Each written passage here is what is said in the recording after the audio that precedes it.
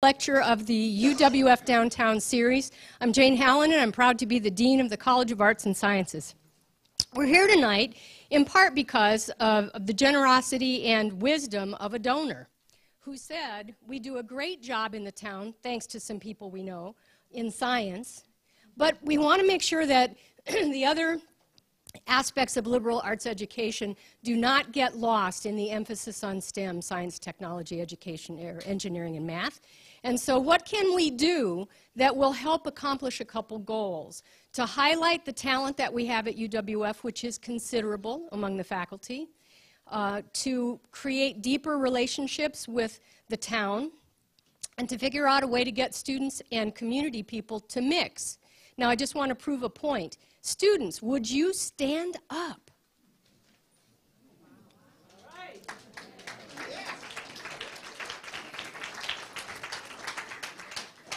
Thank you all for coming, and those who are in my class, special favors later.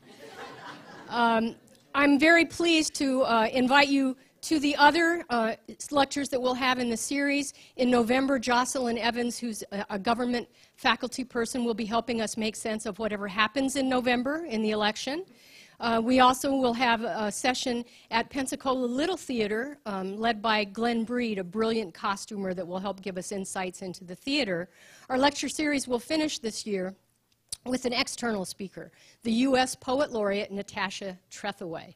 And that event will be right back here in this room, so we expect you all to return for that. Now, having said that, we are so grateful to see so many friends in the community and supporters of UWF. If you're a supporter of UWF, would you raise your hand, please? Okay, we just wanted to give Judy that special push. And uh, now I'd like to introduce Ken Ford, who has the serious job of introducing Judy Bense. Thank you.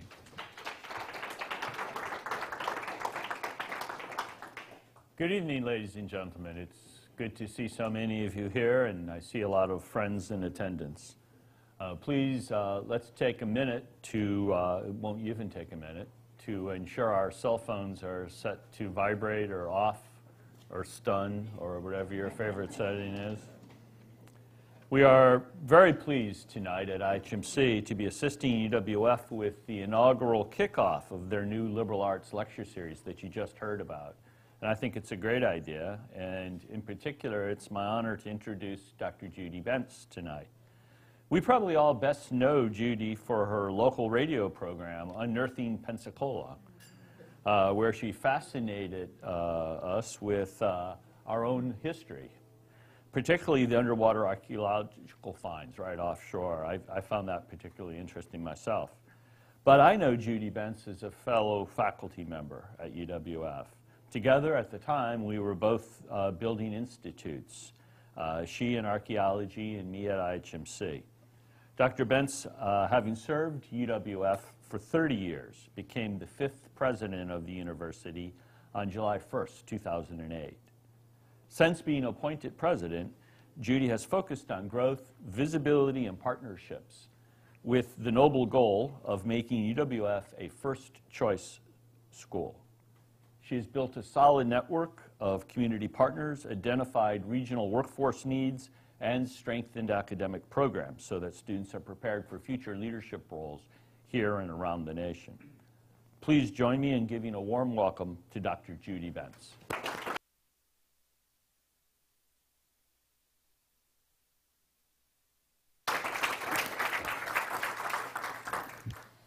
Thank you very much, and thank you for coming tonight. I see a a very mixed audience of uh, old friends who helped me get started, uh, students who have graduated and now are making their living in archaeology uh, here in Pensacola and doing well, um, neighbors, faculty friends, my former boss, Jane Halonen, uh, and uh, uh, friends of the university and uh, our trustee, Vice Chair Lewis Bear of our Board of Trustees. And um, it's an interesting mix, but my life has been an interesting mix, especially lately. And um, so I'm, uh, it's my honor to kick off this lecture series. I have a degree in social science, and I'm very proud of it. It is in anthropology, which you will learn about in a second But what I'm going to do is to um, uh, run you through a um, little bit. These are the topics that I'm going to study, uh, to study. It's been a long day. I'm sorry. I'll, I'll, I'll explain to you a presidential day in a little while. Um, but uh, the topics I'm going to talk to you about. Many of you in the room know what archaeology really is. Many of you think you know what it is. And uh, many of you uh, have no clue. And so I'm going to kind of level the playing field a little bit with that. And then uh, I want to give a synopsis of the archaeology story at the University of West Florida, just to remind you and to begin to, for, to make the connection of the path of archaeology at UWF and its unique story uh, to uh, the archaeologist, uh, uh, myself, uh, becoming president of the university. Um, then what it meant to be the interim president, and then I want to uh, run over and explain some of the parallels of being uh, growing an archaeology program uh, and being successful and how what the surprising parallels were uh, to prepare me to be the president. Uh, there are some hard parts as there are with everything that's nothing new and so uh, that's kind of what I'm going to try to do tonight. I I sat down with this and, uh, and I, I, haven't ever, I've said little bits and pieces of this in various conversations that I've had. Uh, but I'm usually with one or another audience. I'm either with archaeologists uh, at fewer and fewer occasions, uh, but, um, uh, or I'm with the public and people who know me as the president. But uh, now you're all mixed up. Um, I first want to tell those of you who are new to archaeology what it is not. Uh, I'm old enough now to know, to have experienced the first Indiana Jones movie. And at first I was appalled. I was absolutely appalled. I had just begun teaching, and I thought it was terrible because it was everything archaeology really isn't. But what it did do was drive students into archaeology classes. And so I began to really appreciate archaeology. Of course, they learned what archaeology is, which I will share with you. Uh, and on the right is uh, uh, Carter, the archaeologist that discovered Tutankhamun's tomb. Um, uh, part of all of that is true. There are some archaeologists that have guns and whips. Uh, uh, Carter did discover Tutankhamun's tomb, and and so on. But I um, hate to tell you that it's it's really not that. Um, I always wanted to be an archaeologist since I could remember. Uh, I don't know why. I liked history. Uh, my parents drug us around to historical sites for trips and family vacations. Uh, we were of modest means and they were free uh, to visit, so I, we enjoyed it. We had to read every stinking sign and every museum and every exhibit, and our mother would not let us go out and play until we did that. And so we visited uh, places like Port St. Joe and Apalachicola and Tallahassee and Mobile and Pensacola and um, I began to be very fascinated with the past. And I think that uh, this is also what archaeology is not. Uh, the picture on the left is uh, laborers uh, who dig, and uh, this is the Near East in a tell, or a large uh, archaeological mound. And there in classical archaeology, there you don't dig, you just supervise. And um, I, that never appealed much to me, um, except on some days. And uh, the one on the right is archaeology. Was only for men, and it was sort of an exotic thing, like going on a safari hunt. It had a lot of class. And during the uh, 19th century, it was um, kind of uh, like going on a safari, and uh, you brought back curios and things from these exotic places that happened to be antiquities. And so archaeologists really um, have enjoyed a special place uh, in society because we really do look backwards into the past. And there are very few disciplines that do. Geology is one, paleontology is another, uh, history, of course, is another. But they do look backward, and people are curious about what has happened because everyone is dead. and writing has only been around for about 6,000, 7,000, 10,000 years if you really stretch it. But people have been around for uh, at least half a million years, and uh, we haven't changed really physically all that much. But the difference between us and Neanderthals, the difference between us and, and uh, primitive uh, uh, humans is absolutely vast. And it really is what we call culture. It's information that we have learned and that we share. That is the only difference. We are today no smarter than the people who lived in caves. We're no smarter than the people who were the knights in the Crusades. We're no smarter than the people that lived in the Dark Ages. We have the same range of intelligence, the same brain, but we are very different culturally. Uh, I used to say in my classes to get uh, the attention of students is that we could have sexual intercourse with Neanderthals and have a bouncing baby, American baby, who would grow up to use computers and go to the movies and, and text and the cell phone and do all the things that young people do. But to, I say that to give people a perspective on, on, on us in the present because we're a very forward-looking culture. And I'm, that's not neither bad or good, but we are very forward-looking. So that's what archaeology is not. Now I want to tell you what archaeology really is. Uh, archaeology in the United States only is part of anthropology. We have our degrees in anthropology. There, is, there are a few degrees in archaeology in the universities in the United States, but they're very, very few. And uh, they're really more like, um, like uh, historical, uh, people who do culture history and, uh, and go past the historical, uh, the, the invention of writing. So, uh, but in the United States, 99.9% of us have a degree in anthropology. And anthropology is a very serious social science. Uh, it, is, um, it, is, it studies uh, something as broad as human culture. It tries to answer the question of who are we, why are we here, what are we doing, and how does it work. We do not pass culture on genetically. All of you know babies are born knowing nothing. Nothing. They don't know who their mother is. They don't know who their father is. They don't know what language to speak. They don't know how to do anything.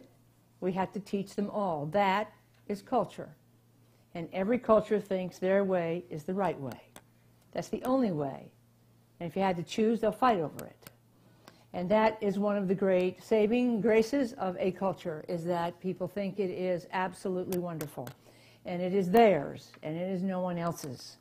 And so um, anthropologists have taken on the task of explaining how it developed and why, because there were non-cultured beings all over the planet until our ancestors came along. The, uh, uh, and why it has taken the form and the path and the shape that it has taken. And archaeology is just one of the divisions of anthropology that studies culture in the past. Archeo uh, cultural anthropology studies uh, cultures in the present. They study native cultures, uh, uh, they study cultures with low technology, they study Western culture, they study culture.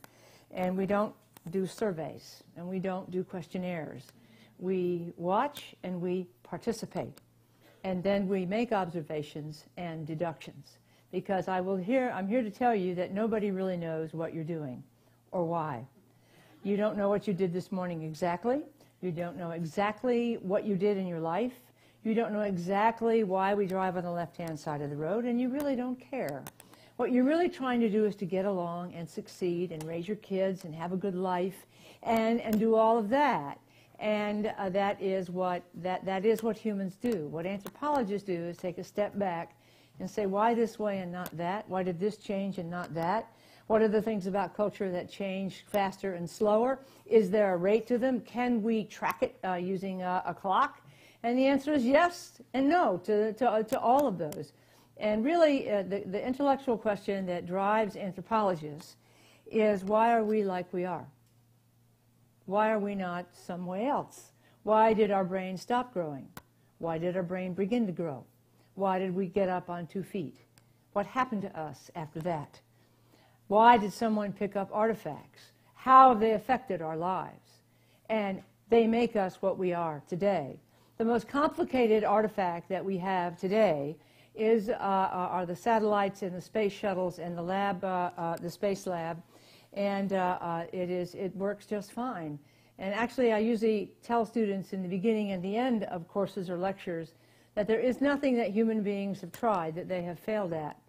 They just didn't want to do it bad enough. Given the proper incentive, humans can do anything. Anything.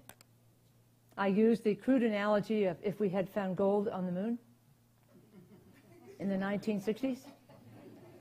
Don't you think it'd be different? Don't you think we'd be there and don't you think we'd own it? Of course we would. Why are we going into outer space? Our culture is driving us. Why haven't people gone into outer space before? I digress, but I want you to let you know that that's the context of, of what I do and my thoughts and my perspective on everything. It's the anthropological perspective. It is one of relevance. No culture is better than another. They're all different. They all have their story. They all think they're best.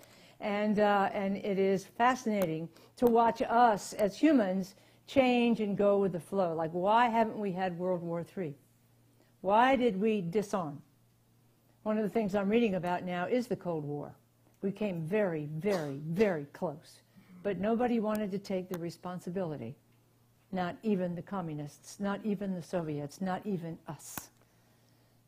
Why don't we have the big war with nuclear weapons? That's an anthropological, cultural question that is absolutely fascinating. Look at the spread of technology with cell phones. I have never seen anything, none of us have, spread this fast. So this is it's a fascinating thing to study. Humans are the most fascinating things on the planet. And, uh, and so that is where we come from. Now, when you get down to archaeology, it is a discipline, a subdiscipline of anthropology, but you can't major in it. You can only specialize in it. In a way, it's a lot like medicine. You have to get, you have to go to medical school and get your degrees, but then you specialize in something. And that's the way archaeologists are. You can doctors can specialize in eye, ear, nose, and throat. They can specialize in radiology or pediatrics or whatever. And uh, so uh, there are four, uh, really three, but four, we count them, linguistics, cultural anthropology, uh, biological anthropology, and archaeology. So uh, that's how it works. Now, um, teams. One of the, the things that, that I learned very quickly is that you never do archaeology alone. It is impossible to do it alone. If you do try to do it alone, you will spend your entire life digging a hole no bigger than this room and that's no fun. It's unnecessary, and you don't have to dig every square inch. So, but it, uh, we do work in teams, and so getting along together, as many of the students in the room know in archaeology and who have participated in archaeology, uh, uh, getting along in small groups and small group dynamics is a very important part of being a successful archaeologist. And so early on, the, um, the really uh, introverts, the people who don't get along with anybody, don't like archaeology, even though they did want to go to Egypt and dig up mummies, but they have to work with these groups of people in the hot summer, and it is not a democracy. It's very hierarchical. Uh, in some ways, it's like the military uh, with levels of authority, and there is a bottom rung. There is boot camp, and uh, you, you got to pass it. Uh, so uh, another thing is that, is that we uh, are a social science. And being a, a social science means that we do generate hypotheses to test. We just don't go out wildly digging to see what's there or dig a site because it is there. We dig a site for a reason. And we have expectations, we have theories we're going to uh, challenge and test. We, we have to operationalize how that will play out on the ground, what we would find if we were right, what we would find if we were wrong. And so it is uh, scientific. But on the other hand, it's cultural. And what cultural really means is that unlike uh, the hard sciences, we don't come out with formulas or theorems or axioms or laws. What we really come out with is probabilities. And that drives people crazy because uh, it is a probability. Uh, almost everything is a probability. There are a few laws, um, cultural laws, uh, but we will call them that. One is change. Humans are, it's impossible for humans to stay the same. If I gave you a million dollars cash right here and I said, in one year, I want this group of people to come back and I'll give a million dollars to every person here. And your job is not to change. I want you to be any different. I'd keep all the money because you will change. You'll change your language, you'll change your clothes, you'll change your stuff, you'll change your attitudes about something, and that is also the human, uh, human nature. Uh, so, archaeology also has very long-term goals. Uh, uh, but we have very strict deadlines, as anyone who is in any profession has deadlines. Otherwise, we'd never get done. Otherwise, we'd never really start. Uh, and, but it is. But we have long-term goals. We're very used to goals, to starting projects that are years long, sometimes a decade long. Uh, I've uh, conducted research that is five years long and 30 years long, uh, but with milestones along the way, of course. So I'm used to, the, we are used to that perspective. It's, um, it's different than, than, than other disciplines, but those of us that are in the, the university and in almost any discipline are very used to uh, the long-term goals. Uh, another thing is very expensive. Archaeology, uh, it's not as expensive as the hard sciences, but it does involve a lot of people. It doesn't involve that much equipment. Uh, you know, super, you know, costs a half a million dollars a machine, and you need four of them. We, we don't have too many of those, but it is very expensive. So we're very used to dealing with lots of money, hundreds of thousands of dollars, millions of dollars, uh, um, uh, half a million dollars. Those are things that we are used to dealing with, uh, and uh, we're used to being responsible for it. I often say uh, when, when uh, someone whines about being, um, you know, why are they making me write this, my, my budget out, and why are they asking me for every dime that I spent? And the answer is, it's their money. And I never mind being accountable for spending someone else's money. And because if they were spending my money, I would want them to be accountable too, to me.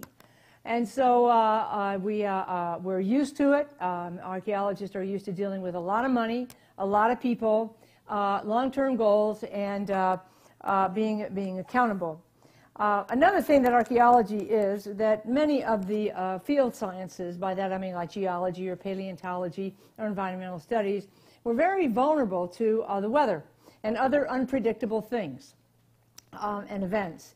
Uh, like hurricanes, uh, the wettest summer on record, the fact that this is your only window of time, this is the first time the bay water cleared up and you can see anything, you know, and the motor won't start uh, or the wind picks up or whatever it is. And we're very used to being vulnerable.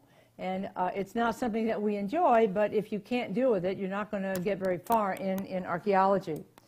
Another aspect about archaeologists and archaeology that what it really is, is we very rarely do, dig up the whole thing, whatever it is. We don't dig up a whole pot. We don't dig up a whole house. We don't dig up a whole tool. We have little tiny bits and fragments. What you see on CSI on television is true. We find little tiny traces, little tiny things. Now, I'm not going to tell you I have dug up a whole Indian pot.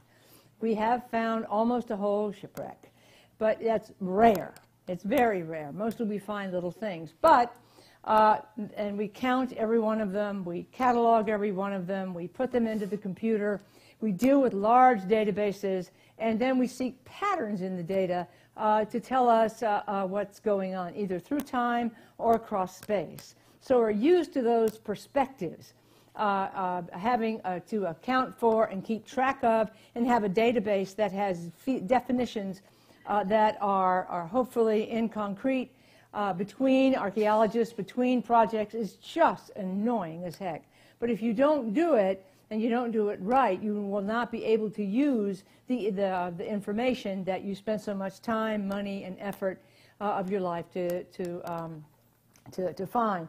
So we have millions of artifacts and fragments at the University of West Florida, millions and millions and millions.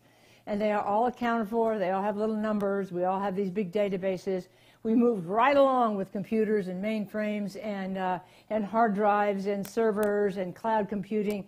Archaeologists have always been right there uh, uh, because of the number of things that we found. Um, I, I, will tell you that I went to uh, the university before comput computers. Uh, I did my dissertation with a calculator, and it was, it was not good. Um, uh, I, I made so many mistakes punching in the numbers, getting the, the columns to add up to the rows and everything adding up. And computers do it uh, so much more accurately, but it is just, we, we just jumped right on them and just, just kept going. And so um, uh, uh the probability thing. Um, a lot of people get very frustrated with, with social scientists because when we come up with probabilities, uh, they say, no, we don't want a probability. We want to know exactly what the rule is, exactly what the law is. And the answer is there really aren't any. And I know uh, other um, scientists in the room uh, get asked that a lot too. I see the chair of the math department is here, and he's one of the few who come out with real formulas and real results, predictable, that have, you know, uh, uh, uh, they, they're, they're solid. Uh, Rick Harper and I have a problem with that. We have to say probabilities. And that's okay. It's sure as heck better than nothing. Now, a little bit, uh, I wanted to give you more context about archaeology, and that is there are three kinds in the United States. One is academic, the one that I represent, and the people here, colleges and universities. I want to tell you, it's almost, they're almost always in large universities. Archaeology is not something that's done in small universities, except in a very few. Um, the, uh, uh, uh, it is called a second tier uh, uh, discipline. The first tier is like history and math and psychology, and then anthropology is second tier. And it's usually at larger schools that have a large enrollment, and a, a few people are interested in it, but enough to support a department. Uh, the other is private consulting firms, and we have uh, uh, the, some private archaeological consultants here in the room the, that make their living here. And we, in Pensacola, doing archaeology for money. And uh, that's because there are laws in, in the United States that require uh, some archaeological um, um, uh, surveys and testings and excavations before certain uh, projects can go can be completed. They're usually government-funded projects, but not always. It's a lot like environmental laws require environmental surveys, archaeological laws. They also bring in archaeological surveys so that have a new bridge, you don't want to throw out an Indian cemetery in the meantime, and there are laws that, that require archaeologists to look. And then there are government agencies, uh, there are jobs there, and uh, they, uh, uh, those are the, what I, I casually call the enforcers. They look over all of our shoulders and make sure that the rules and regulations are being enforced. And if they're not, uh, you're told about it, and the client who is building the bridge or the development or whatever uh, is uh, uh told uh, um, that uh, they need to get a new one or they need to shape up the one they have.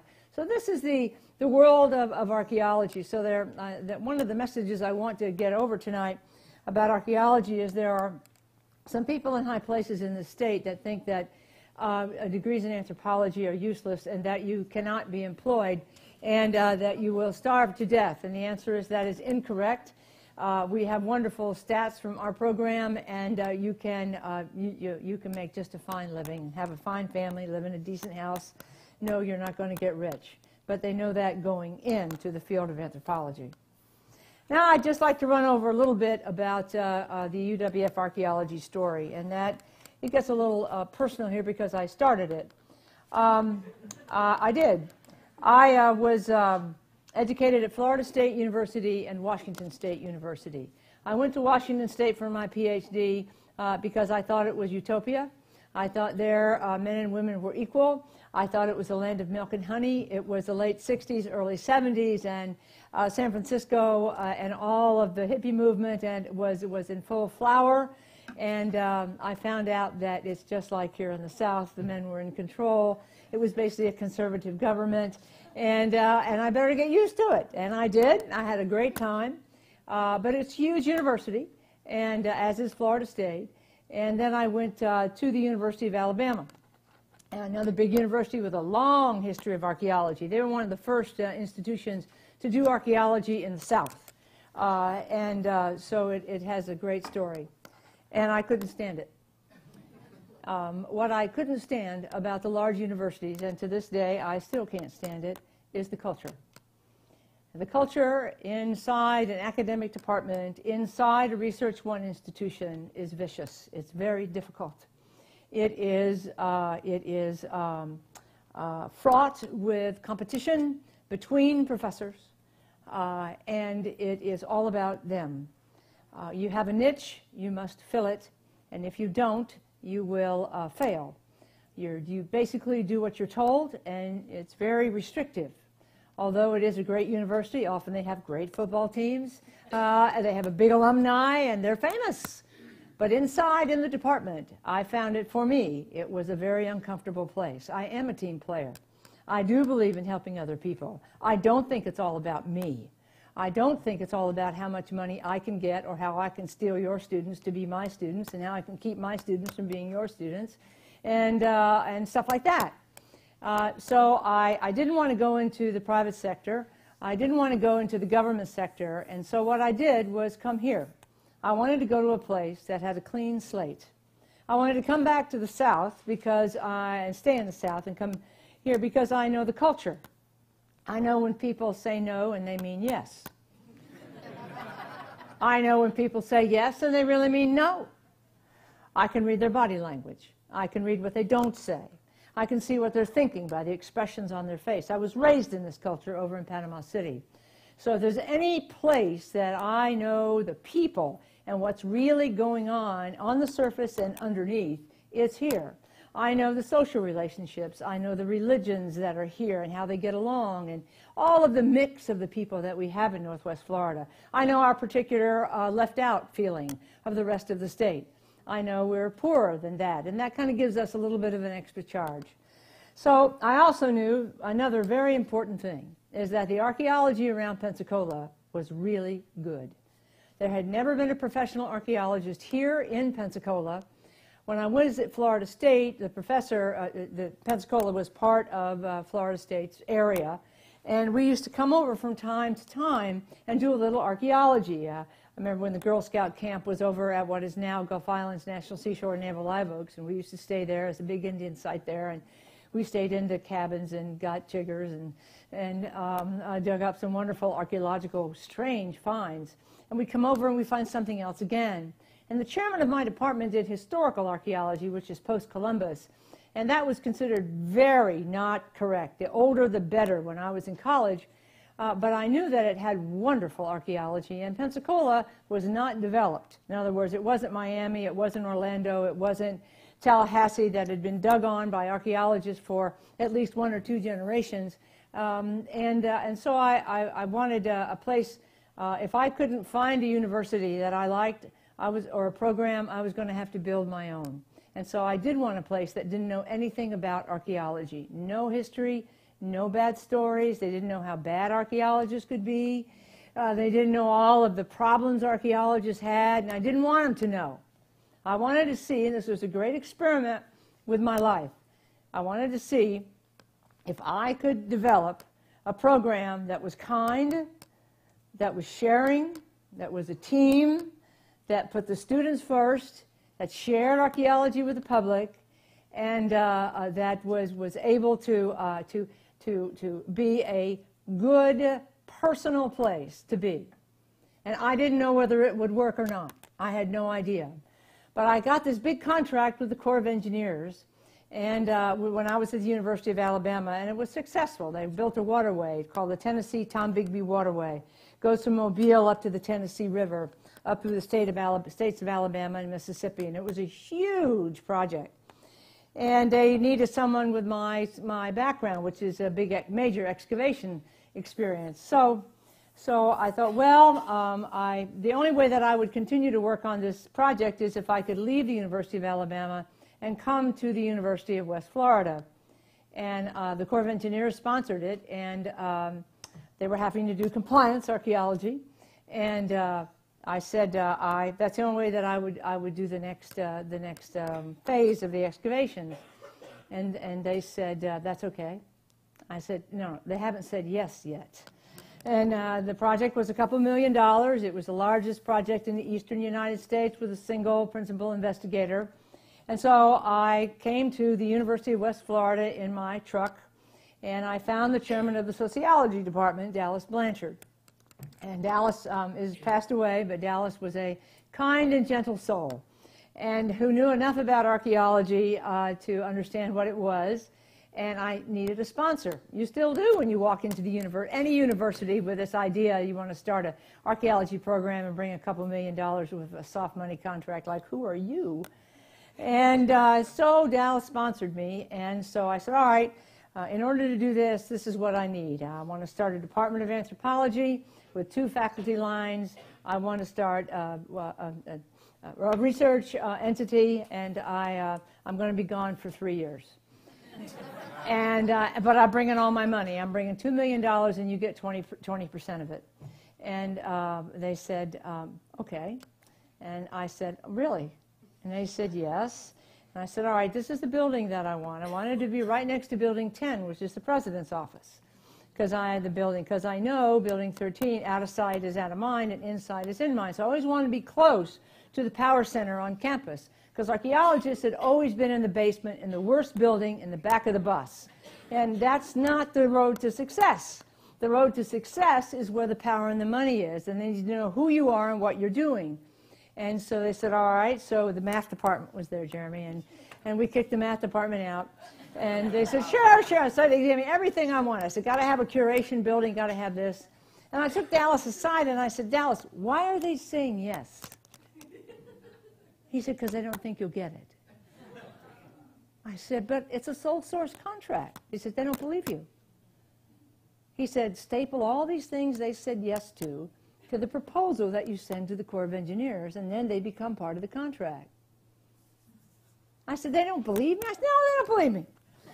I said, okay, okay. So I did. And of course, I got it. And they complied with almost everything they said they would. And so uh, we, uh, uh, we, we began. And so uh, I was trained in very ancient archaeology, prehistoric or pre-Columbian archaeology. My specialty was either um, uh, 2,000 years ago or a culture about six to 8,000 years ago. And so we, that's why I came to UWF. I came here for the archaeology that was here, but in order to get the money, I had to do work in Mississippi. And that was fine. I, I, told I told the Corps of Engineers, I don't have a shovel, I don't have a truck, the university doesn't have a thing. You're going to have to completely equip us. And they said, okay. I said, all right, you're going to have this huge equipment bill, and I'm not buying the cheapest stuff. I'm going to buy stuff that'll last for 20 years. And now it's been over 30, and we're still using some of the wheelbarrows and some of those tables and some of those chairs. And uh, that's because I was trained to take care of my equipment. And, uh, and we still do. So at any rate, that is why I came to UWF. I came for, for here for the archaeology, and I came here for the, um, uh, the ability to start a program that I thought had the right values. Um, uh, it was, I, I, talk about myself as a walk-on. Nobody asked me to come here. I asked to come here. Soft money means once it's spent, it's spent. It's not recurring money. And I also came here with a different kind of an attitude. I am not a typical archaeologist, although I do fit very well with them. I'm very comfortable. But most archaeologists are a little bit quieter than I am. Uh, they are not as concerned with, uh, with um, growth and development as I am, but at any rate, my attitude uh, is one of growth and development. Um, uh, I also uh, am, uh, what is different about our story is that I quickly began to be the friend of the administration and politicians uh, because that is where the power and the money is, and it still is. I began to think about archaeology from the president's point of view, from the dean's point of view. I began to think about them uh, as uh, what their problems were and how I, with archaeology, could solve their problems. And for example, what, the what any president really needs is good PR. Good PR. It's, it's priceless. You can't buy it.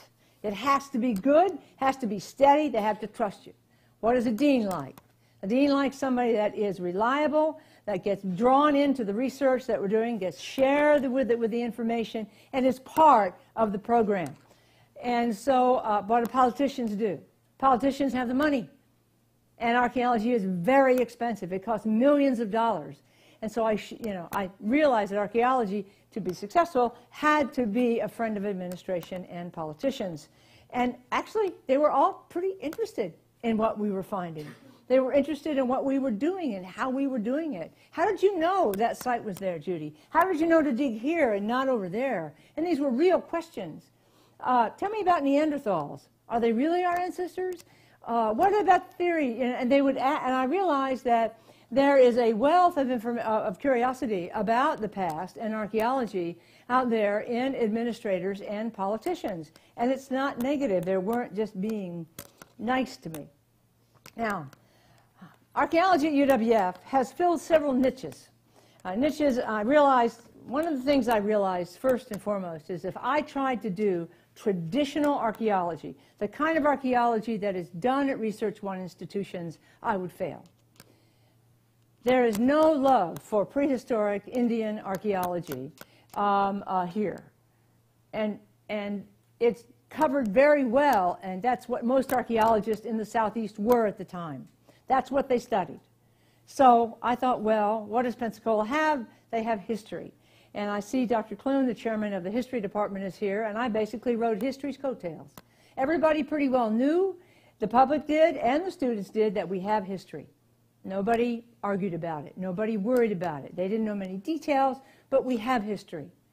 Well, Of course, I know that there's archaeology with it, but nobody else did. Everybody thought it was all gone. So I um, uh, started with, uh, I mean, I, I quickly moved into historical archaeology, and it was an emerging field. Another thing is about the public part.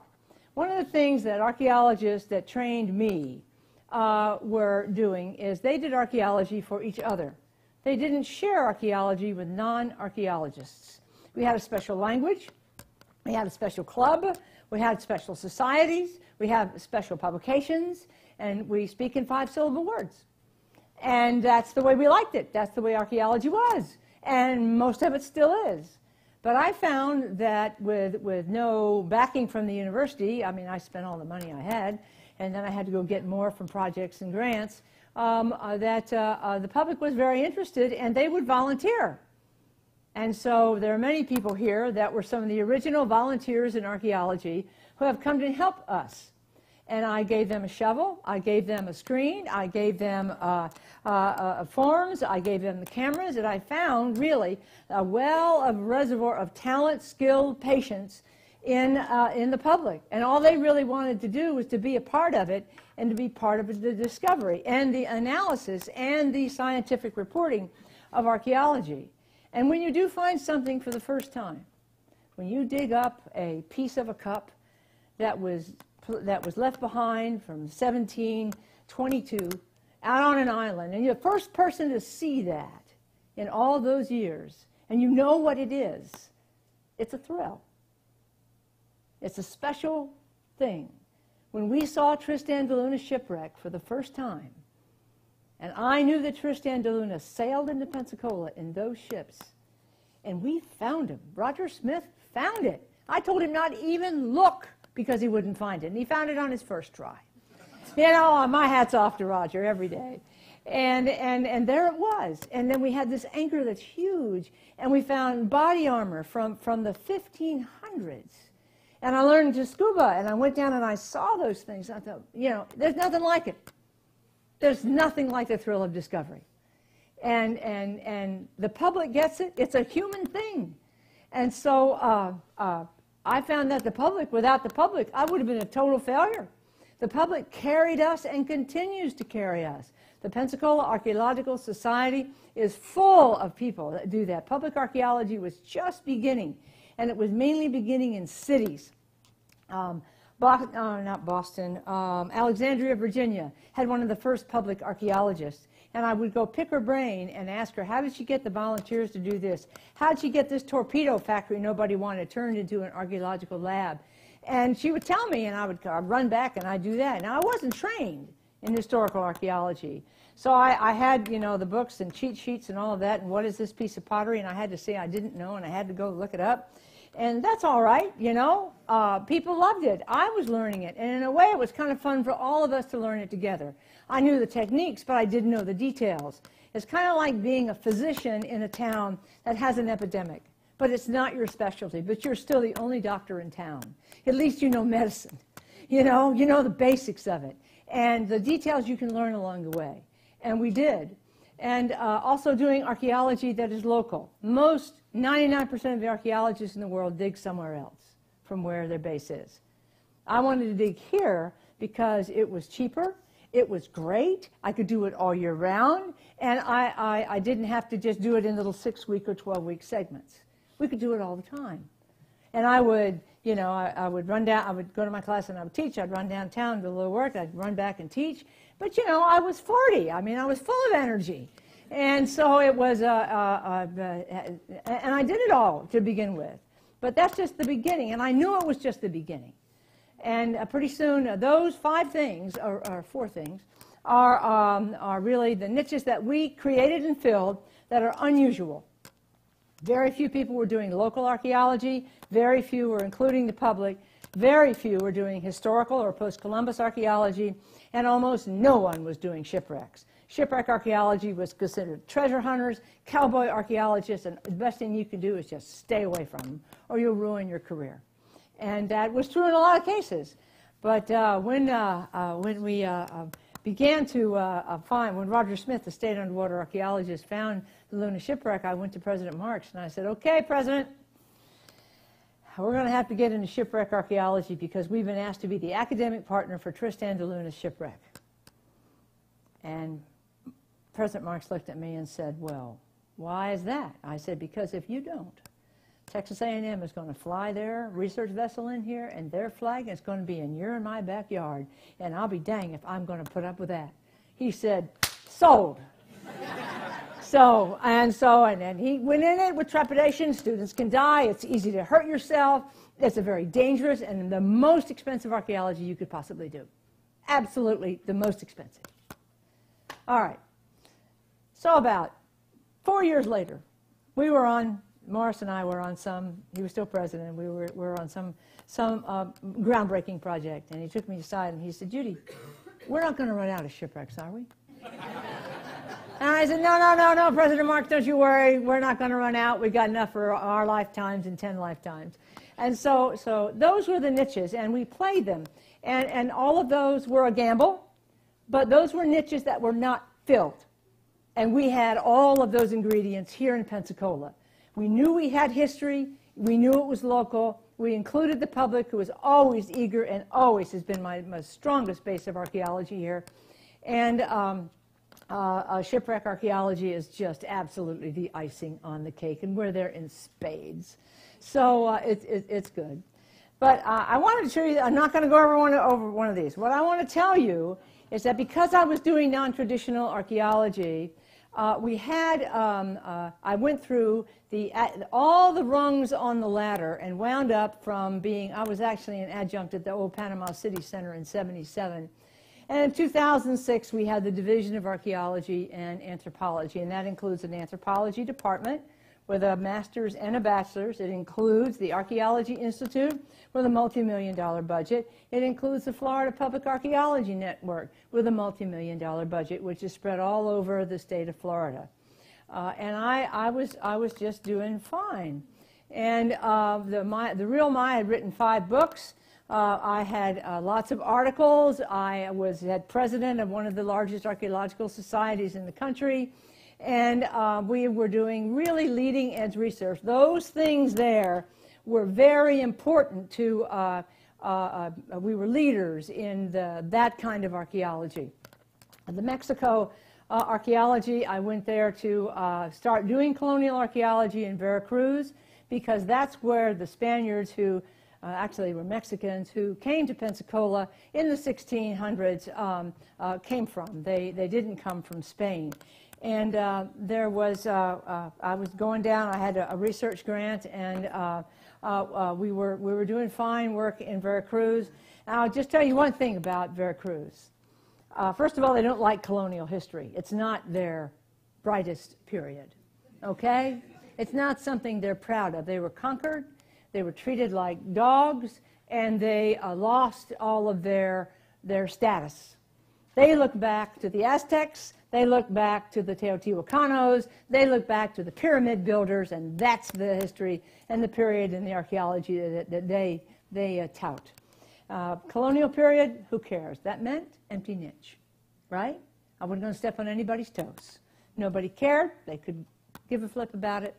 And so when I, I picked Veracruz because there was an archaeologist there who would partner with me as long as I brought my own money. And I did. I know better. When you're a walk-on, you need to bring your money. And uh, we began to excavate in Veracruz.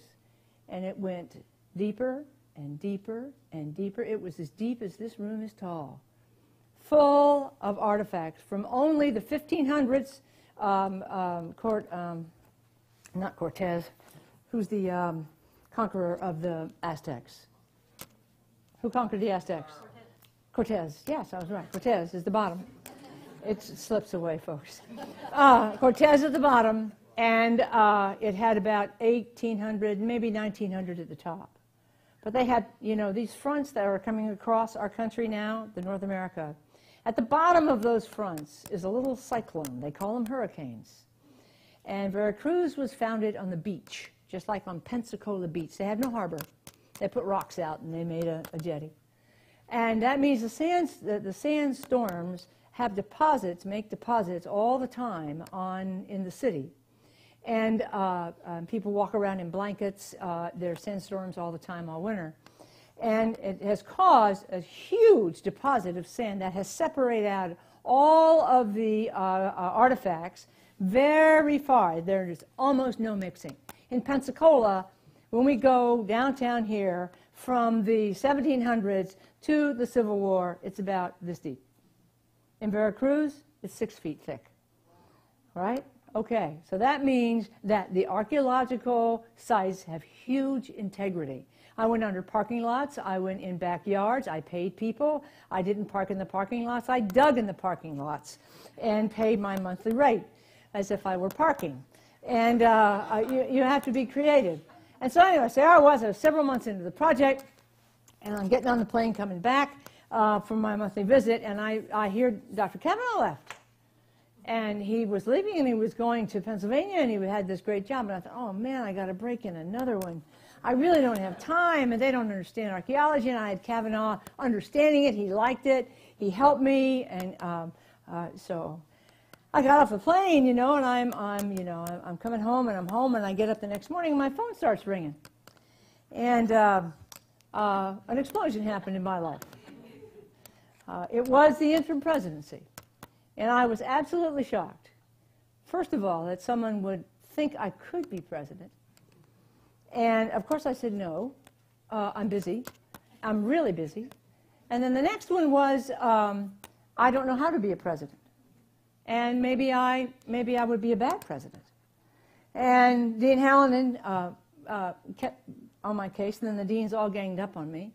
And um, I said, well, it's nine months. It's just they're going to start a search. All right, I'll do it for a year. And, uh, and I did it for a year. And they did not do a search. They asked me to stay on another year, and I said, okay. Um, but the longer you stay out of your field, the, most, the, the, the worse it is. And they said, all right, I'll do two years. And then uh, the, the trustees asked me how long I would be president. And I said, well, I'm going to be 70 in 2015, so let's pick that as a date. And uh, they said, okay. And I said, fine. And, um, but now I'll tell you the story of the presidency and tie it into archaeology. First of all, why me? There are a lot of people at the university that could have done what I did, could have been an interim president and a president. But there were some uh, special circumstances why the interim. They wanted someone from campus. They didn't want someone from the outside or from the community. They wanted someone from the inside that they knew and trusted. And um, uh, they needed, a, they expected a quick search. And one thing Jane uh, has pointed out to me several times um, is that I don't have any enemies. I'm sure I do now. But at the time, I, I didn't. And, and uh, it is part of my philosophy is that enemies can only hurt you. That's all they can do is hurt you. And so I have tried very hard not to take from people. And when I had money, I shared it with other people. I would get money in lumps after a while, huge lumps of recurring funds that I couldn't spend all in one year. And I would have money left over. I would get it every year, but I couldn't spend it all in one year. And I would begin to give it to people at the university and they thought I wanted something. I wanted nothing. Maybe a chip in the future if I got into hard times, you know, but still to give it to them. I didn't do it a tremendous amount, but what I did do is go get my own money. I didn't use theirs, I didn't take theirs, and I shared. So that made for friends, not enemies. And I did skip several rungs on the ladder. I've never done this terrible job of being, difficult job of being a dean. I never have been a vice president, and only 3% of all the presidents in the country have made this leap. And there are over 4,500 colleges and universities in the country. And uh, there, I only know of three archaeologists, one of which was an interim, so there's one other archaeo archaeologist who's a president, and he's in uh, Montana, at Montana State. Uh, so um, uh, that, that, that was kind of the leap and, and the story. Now, why do it? Why would I stop? Doing archaeology, the one thing that I had, I was really getting really good at. First of all, when you build a program, you it starts with you and it focuses on you for a long time. It's like building up a practice. And and uh, that the good news is that apparently you can do it. The bad news is that when you leave, it can collapse around you or behind you. And you have to have an exit plan. I remember I turned 55 in, in 2000, and uh, we were sitting at some meeting, and Jane was there, and I said, Well, I'm, I need to have an exit plan. And they all looked at me like I was crazy, and I wasn't anywhere near retirement. And I said, No, no, exit plans take a lot of time and money. You know, this is a house of cards. If I was killed in a car wreck, it would die today, um, tomorrow, the, the program would. Because, uh, uh, anyway, so I began to, what should it look like when I retire? How much is it going to cost? And then to go get the money and then to implement the plan. So I thought 10 years was about how long it would take to do that. And so um, I had made a plan. I had gotten the money. I had uh, uh, implemented almost all of it. I had two key people. I had Elizabeth Benchley, who uh, can run almost anything put in front of her. And second, I had, uh, we had just hired John Worth, the Spanish colonial historical archaeologist, who is just wonderful. He's better than I ever was. And uh, uh, so I was very comfortable uh, with that. And uh, so the exit plan was almost done. And also, when you've been someplace 28 years, you know what should have been done. You know all the things that should have been done that weren't done for one reason or another. We had no visibility People in Panama City, half of them didn't know where we were. Uh, growth, we had never grown except a little bit, an inch along. It had not been a priority with anybody. Uh, and uh, we had a commuter college, and we didn't have any student in collegiate life. And we were a school of the 80s. We weren't a school that was modern and growing and uh, uh, that was with it. And I, my earring is banging against this, isn't it? Hang on a minute there. Um, and uh, it takes, these are difficult things for a president to do. And the reason they're difficult is because they require change. All of those four things require changing the culture at the University of West Florida. They involve changing the image of the university to the public. They require a different pace. They require a different vision that require a different attitude. And if they fail, you're toast. Well, my career is in archaeology, and I'm not adverse to taking risks, especially when I know the outcome can be very, very good. So I decided to lay down my shovel and pick up this risk to try to do something for the university to bring it closer to the community. Where are you? You're not doing anything for the community. You're up there, up on the hill and nobody ever comes down here, and half of that was true. You know, you ever seen a billboard with UWF on it? No, and they didn't want one. You know, they wanted to be the Harvard of the South. They wanted to be the Vanderbilt of the South. They wanted to be the Wilmington of the South. I wanted to be the University of West Florida. I wanted to serve the region. I wanted to pay attention to the region. I wanted it to be proud of itself. And all of those things were not what the university had been doing, certainly not putting any money into it. So I picked those things to do. And I figured for as long as I was the interim, that those were the kinds of things that were relatively um, simple to do. They didn't require being an experienced president.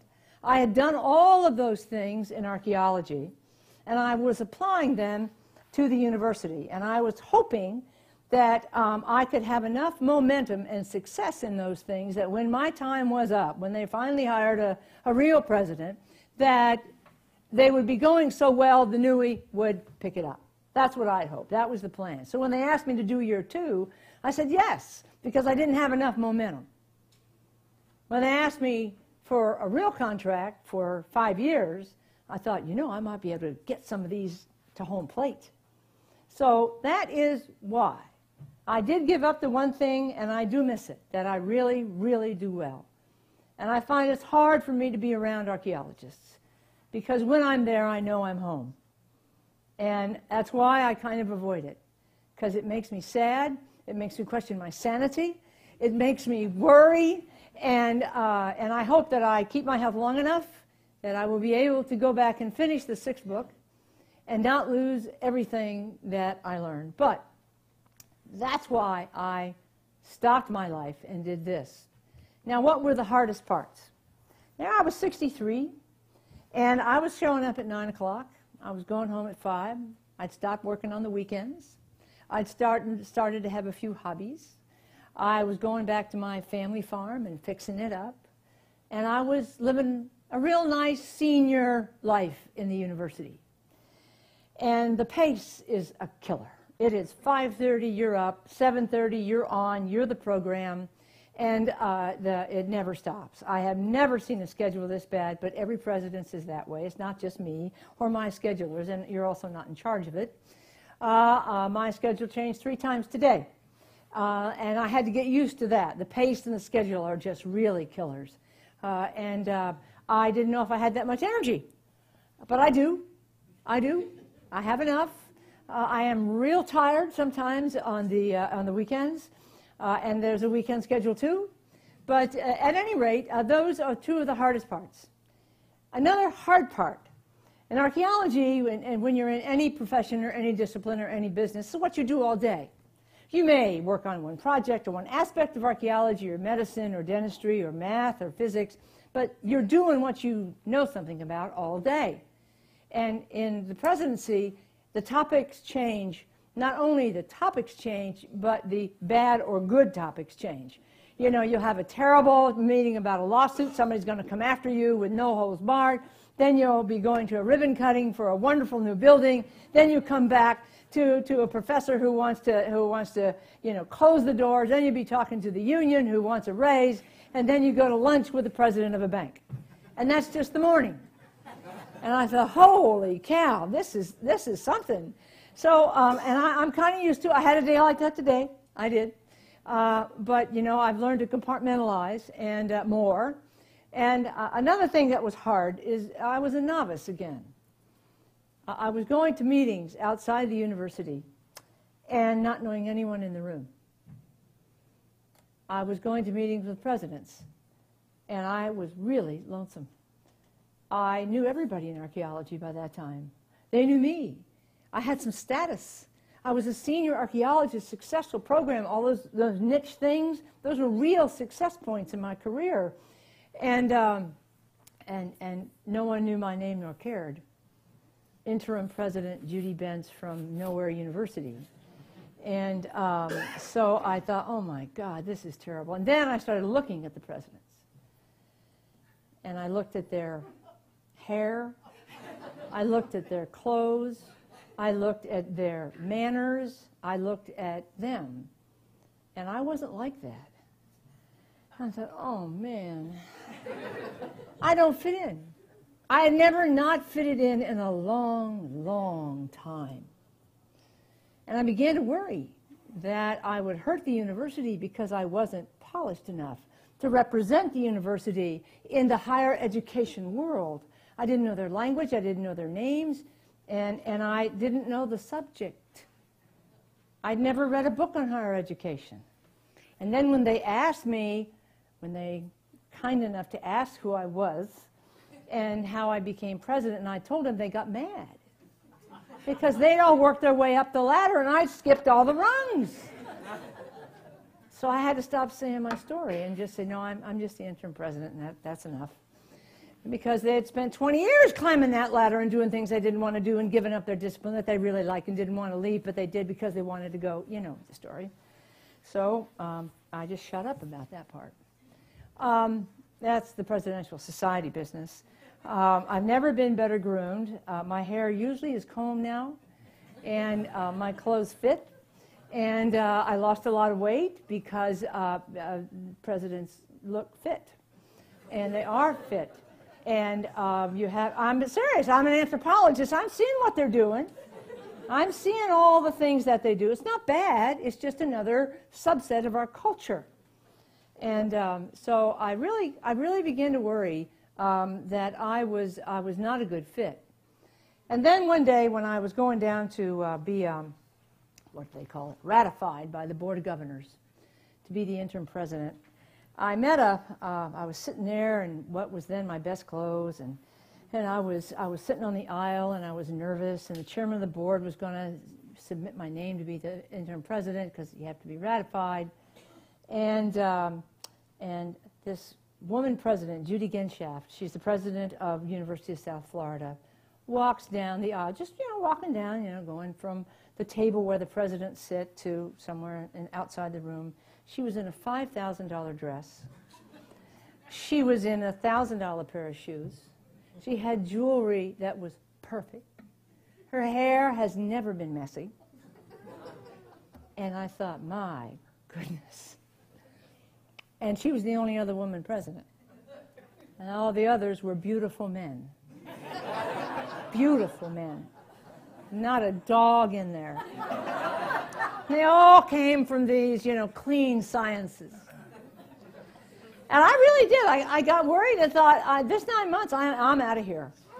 And, and I, I came back and, and I, I thought about this, and I would go to the, the first of the presidential meetings, and, and I, I, would feel, I would feel not a good fit.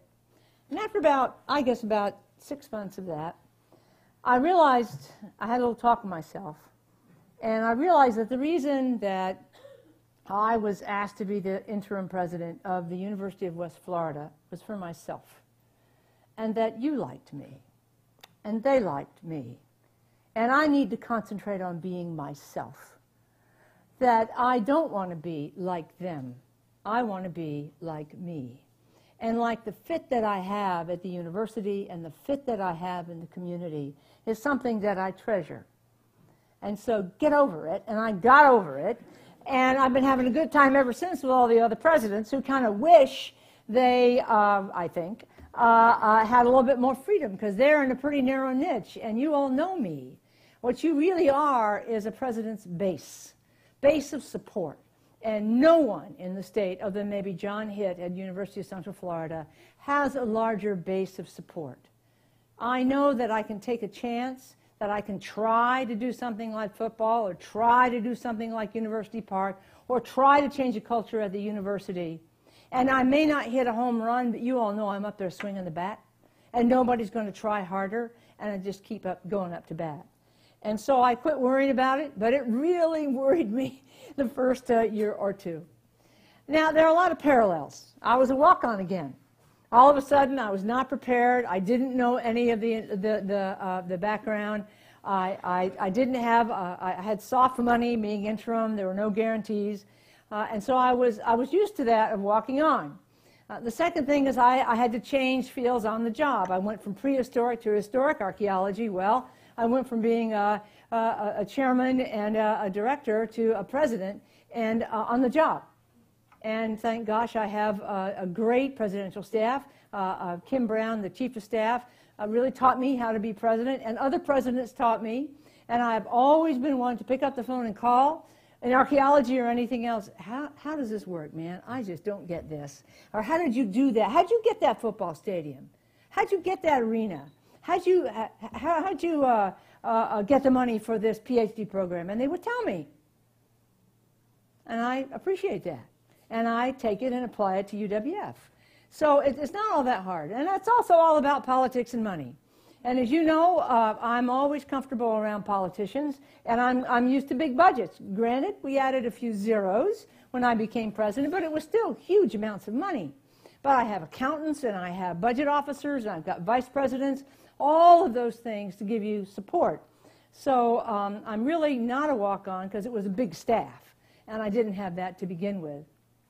And I still um, uh, am taking on some of the biggest challenges. Um, uh, I didn't have any money to do what I wanted to do at UWF. Uh, it was the worst recession in our lifetime. Uh, I've had, experienced nothing but budget cuts. Uh, I was an unknown, and uh, I have big ideas, and I also have vision. And vision is a blessing and a curse. Vision means you can see it, which is good. But it's a curse because it takes so long. It's a curse because you can't get to it. It's like a dream, a vision is a good word for it. So these are all parallels that I had in archaeology. I always knew I wanted a nationally ranked, archaeology program that was kind and gentle and student oriented, that was rigorous, that had a good academic re- uh, reputation, that gave back to the community and did something different in their program. I knew that day, day one when I walked on. My friends said I was crazy. And they saw me struggle. And it was years before I, I had a steady paycheck. But I knew that it would come if I worked hard enough. So, so it, that's sort of the same kind of challenge. Um, the same elements for success that I used in archaeology, I'm using here. I'm using, I'm using the talents that I have, and then I'm surrounding myself with people who complement my many weaknesses and, and who will help me do what, what, uh, what we need to do. It is a team sport. The team is just bigger. That's all. It's just bigger. But it's still teamwork. It's still sharing. It's still helping each other. And if, you're, if, if you don't help, you got to get out of the way. Because we have a very narrow window, and I'm the only archaeologist, uh, the only president that, that, that could probably pull off some of this stuff for the University of West Florida, and I know it. I know the next president that comes to this university will probably be a very traditional president, one that has come up the ranks, one that is polished and looks and wears, you know, that, that, that is a professional president. And we probably will need that. I don't know what they'll pick, but I know that they'll never have another me. And when I look at it critically, I can do those visionary things. I can make a difference. The biggest surprises. I never thought I would be president. It never crossed my mind. I thought they were kidding when they asked me. And, and I will never be that surprised, I hope, in my life again. But as I began to think about it, and Jane, I, I think I had this conversation with you on the phone out on my patio, when I realized that being asked to be president of this university was the biggest compliment that I've ever had in my life. It says so much about everything. And I was overwhelmed with that, and I still am. It is a compliment. There's no higher compliment in a university or community to be asked to be president of the university that's uh, the, the, local university. And so I, um, I was very humbled by it. I was surprised. I did not know that the depth of support for what we had been doing in archaeology and that what uh, uh, was so deep. I, the day I was named interim president, I went over to Pensacola, what is now Pensacola State College, and had lunch with President Meadows and gave him an olive branch. The next day, I went and had lunch with then President Richburg at Northwest Florida State College and passed the olive branch. I said, We're not going to fight anymore. Um, and that first week, Everywhere I went in this town, people would stop, get out of their car, and hug me, and the women would cry for happiness. The grocery store, the junior store, the gas station, I had never experienced that in my life. Tears, women who were, very, who were much older, 70, 80, 90 years old, would say, I never thought a woman would be president. This is just a wonderful thing. And I said, I didn't either, you know. I never thought we'd have a woman president. I thought if we'd be the last one. And uh, we're not. Uh, and, and, but it was, it was sheer joy of the community. It was kind of like we had one of their own. I had a barbecue and it poured, and there were hundreds of people there on campus and, and from the community. I had no idea I had that much support. Um, and uh, uh, one of the biggest surprises is that we have at the university changed our attitude and come in with these new changes with the support of our trustees and the students and faculty and the community despite this recession. We don't pay attention to the recession. There's nothing we can do about it. What we can do is what we concentrate on. And that's a difference in attitude. Every once in a while I whine. I mean, we lost $12 million this year, but we paid for it out of our savings, and I'm going to try to not we're all trying not to get that, that cut again. So all of these are parallels with archaeology. There was no money. There was uh, the attitude of archaeology was different. The community supported archaeology, and it was a wonderful opportunity. And one of the biggest surprises is that I really could do it. I really didn't know, but I was going to give it a shot. Now, I've gotten up and struck out, man. I've been told no, and I wouldn't give it to you if I had the money. You know, no, this is a terrible idea, and you have to go away now. Uh, right. I didn't, but that's what I was told. Uh, but but uh, that, I, that I really could do. it. That was very surprised, and that it is really working. And so this is what you see now at the University of West Florida. You see a dormitory on the right that is collegiate. You see students that are wearing our gear and having fun. You see a new College of Business building. You see a new attitude. You see school spirit. I always thought our students really deserve to have the collegiate experience. I would go to other universities and in our state, and I would get mad that our students don't have that student union. Our students don't have that football team. Our students don't have those dorms. They don't have those buildings. What the heck is the matter with us? Why were our people so asleep at the wheel and we missed the boom? You know, why didn't we take advantage of it? And I would go around stomping about that. Well, well, we're on our way. And I wanted to play a little video for you that kind of reflects our attitude. It's on our website. And uh, this is our attitude.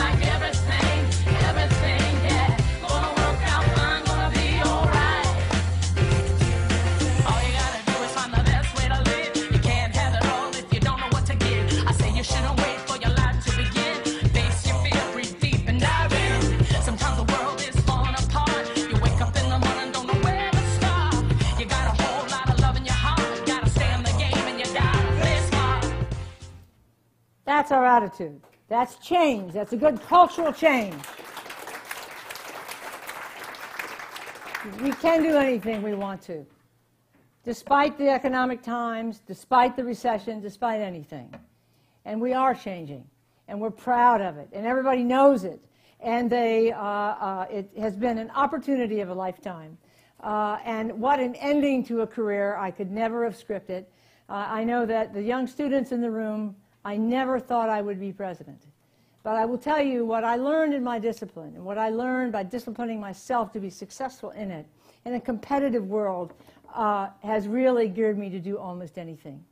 And so it is, it is, uh, it, it is quite, quite, quite fascinating. And I want to thank all of you for your support. I know that everybody in this room supports me and the university, what we do. I know we have faculty and students and graduate students and staff, and it is very humbling to be the president. It is uh, a privilege, and uh, many presidents refer to our life as the privileged life. It is a privileged life, and uh, I'll never take it for granted. And I will tell you that we're going to crack 13,000 students next year. We're going to have a football team in a few years by hook or by crook.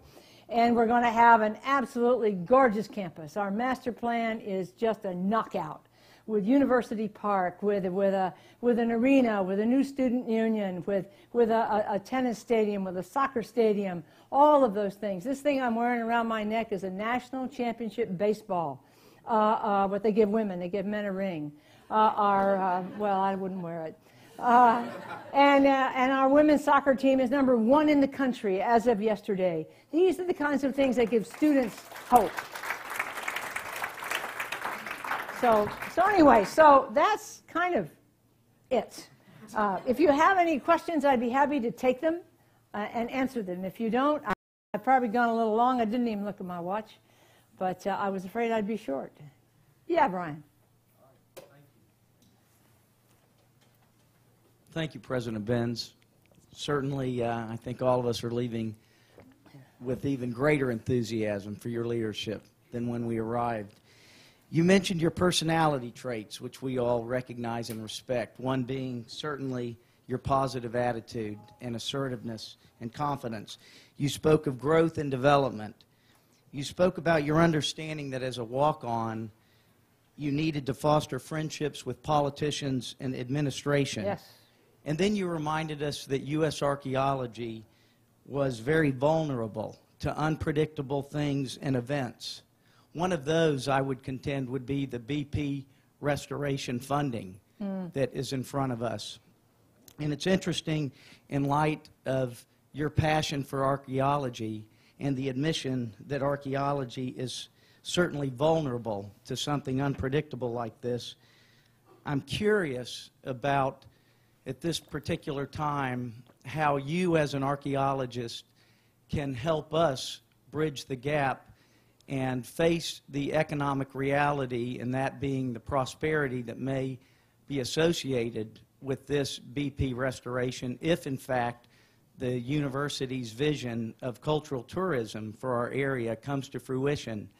How do you and Dr. Elizabeth Benchley and your peers help really fuse or marry the love and preservation of archaeology with the reality that this particular proposal is based on the tremendous prosperity brought on by jobs and, in fact, could mean that we do actually create vertical development on top of what you all consider sacred archaeology, archaeological sites. All right. Thank you. Well, that's the easy part of the question, the, the last part. Th- Thank you, Councilman. Uh, uh, I, uh, um, uh, the one thing about archaeology, it is not like uh, the environmental rules and regulations. Uh, uh, if you find an endangered species, you have to preserve their habitat, and that can really stop a, a development project dead. The latest example is our beach mouse. That, that is a real, a real blocker to development. What, what you do with archaeology is, first of all, uh, when a development is planned, it will never, development will never stop. Archaeology will never stop a development. What you just need to do is archaeology ahead of the development. That's all. And these are planned projects. They're not going to take a long time, right? And so uh, you involve the archaeologists, and the uh, West Florida Historic Preservation has uh, uh, uh, archaeologists uh, on its board, and Dr. Benchley, and and there's also teams of archaeologists and, and historians and architects with Carter that, that understand that sensitive lead time, sensitively planned uh, development can take place anywhere in Pensacola. I'm not going to say it's easy. I'm not going to say it's cheap, but it's absolutely doable. It will never stop a project. Uh, it can be expensive, but you, you, build it in. Uh, you also don't have to dig. You can just pour concrete and put the building on top of the concrete. There are lots of ways to avoid the archaeology, too. We're used to that in the world of private sector and government compliance. Uh, you know, that road's going to go in, that dam's going to go in, that bridge is going to go in. So you know what you have to do. So we're kind of trained in that. Uh, the other part is, um, is uh, uh, about the, the BP opportunity and heritage tourism.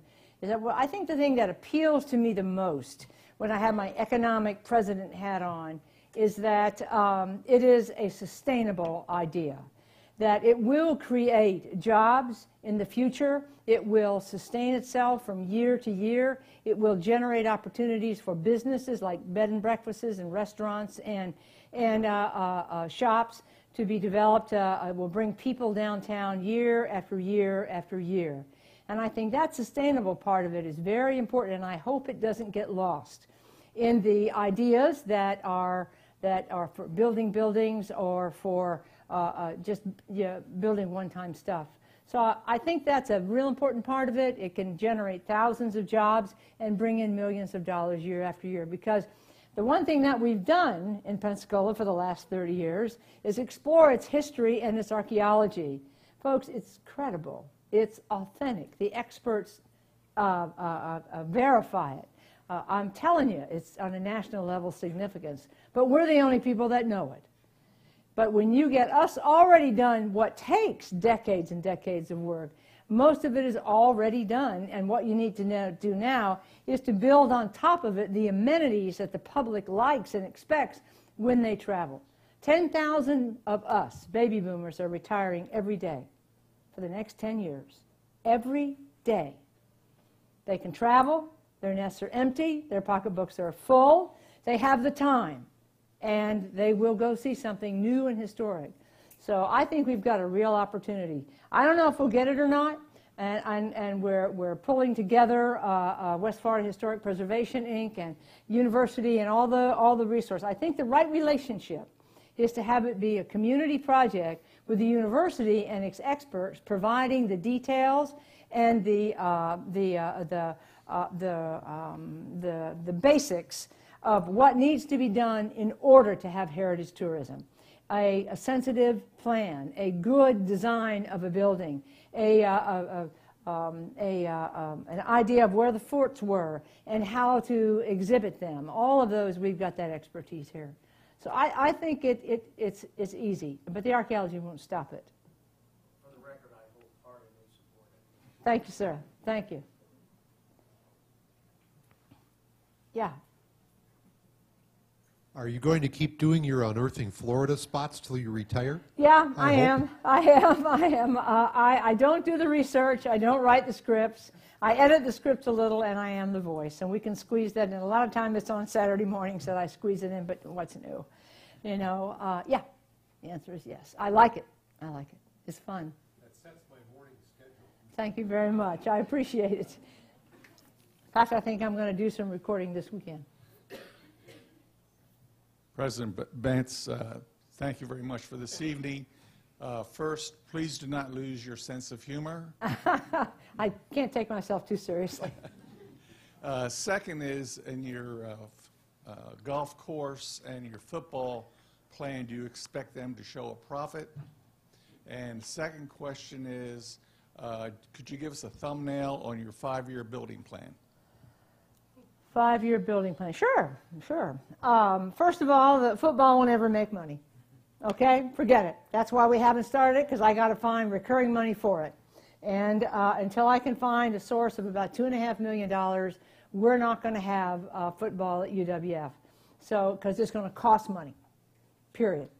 Uh, even in Division One, but certainly in Division Two that we're in.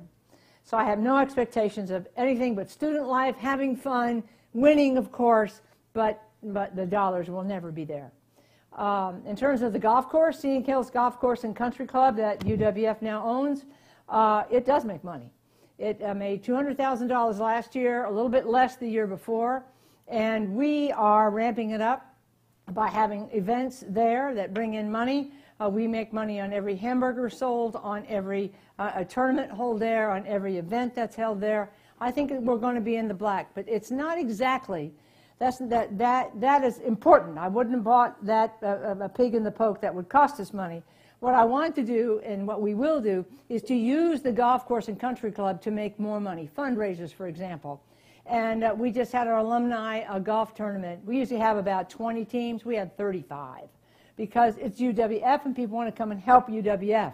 People want to have, we're going to build a little lodge there of rooms so people can stay overnight and have their weddings and their reunions. They have three weddings a Saturday in nice weather. And uh, we'll, we'll make money on all of that. So I think it will be a, a money maker directly, but indirectly it's going to be a real big money maker for us. Uh, and uh, besides, you know, most universities as they move on up have a golf course and a country club. And our faculty like it, and the dean has, a, um, uh, uh, thank God it's Friday, uh, um, uh, uh, events there, and the bar is very good. And you don't have to drink, but it's fun, you know, and it's ours, and it's, it's good. I like it. Oh, the five year plan. Well, I want to tell you, I want to see a thousand more beds under construction. I want to see the new student union under construction. I want to see University Park, which is where the tennis courts and the intramural field are now. I want to see that complex coming out of the ground. I don't think I'll be around to see it completed because it's a long project. It'll take more than five years to do. But I want to see it out of the ground. And I'm pointing Matt Altier and our partners in the private sector to find ways to phase it, to start it, to bring it in. I want to see that coming out of the ground. I want to see that big S road that cuts our campus in half. I want to see it gone. I want to see a nice loop, a new student union. overlooking a lawn and a mall with a small little stadium with a big uh, athletic uh, uh, complex and, uh, and uh, an arena. I think that's possible. And four academic buildings, uh, multi use buildings that are seven stories tall, that are surrounding the mall, retail on the bottom, academic departments in the middle, and housing on the top. Four of those. That's a thousand beds. I want to see those, those things coming out of the ground. I think we can do that in five years. Right. hmm I appreciated the title of the, uh, of the series, um, honoring the humanities and, and so on. But today, it seems that we also need to protect them. Yes, sir, we do. There's a strong movement afoot to convert universities to vocational schools. Yes. And I'd be interested in your views. Well, we worry about that. You know, we also know, those of us in higher education, higher education, that waves of interest and criticism come and they go. There's not a university in the country that's going to hurt their liberal arts programs because they're not popular with the politicians or with the, um, uh, with the public. It is our responsibility to keep them, to wrap our arms around them, and to keep them healthy during this particular um, uh, um, period of time. I'll give you an example. Philosophy wanted a line of a new faculty position. And I said, sure, I'm going to explain a, a line in philosophy to, to the, you know, the, uh, the president of the Senate when they want us to have an engin- engineering, more engineers. And I tossed about it and I tossed about it and I, I said, wait a minute.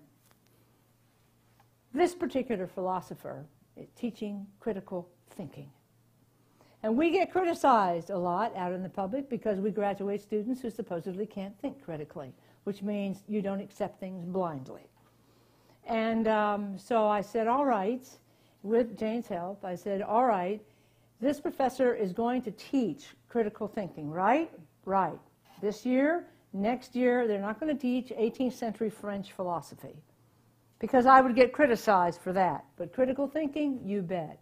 So, in a way, what we're doing is we're taking some of the issues that are real issues reading, writing, and thinking and we're supporting them within our humanities and our social sciences. So, in a way, it's what they want us to do because they, um, uh, they're criticizing us, and sometimes justly, that we don't put enough emphasis on that. Our writing lab can be expanded. Our, our English uh, faculty can do more, uh, uh, more with, with teaching students how to write, how to, criti- how to criticize what is written. So that's how we're doing it. We're really doing it by taking some of the criticisms that we are getting about the social uh, sciences and humanities and really saying some of that needs fixing, and we're, we're infusing that into our humanities and social sciences. We'll never cut it. We get, we get told our psychology department is too big. We have a thousand psychology majors. I will never cut psychology. That pays for engineering. They pay for physics. They pay for the expensive but now low enrollment. And it's a balance. And when I tell that to legislators and businessmen and women, they say, oh, I say, so you're going to tell me you want me to cut one of my money making um, programs for one that doesn't, and there's no enrollment and there are no jobs? And they say, no, no. I say, okay, off my case. I don't say it quite that bluntly. but that's how we're handling it. We're, we're kind of waiting, but we're taking the good parts and picking them out, and we're, we've got our arms wrapped around the social sciences and the humanities. One more. Maybe not. Thank you very much. I appreciate you coming. Thank you.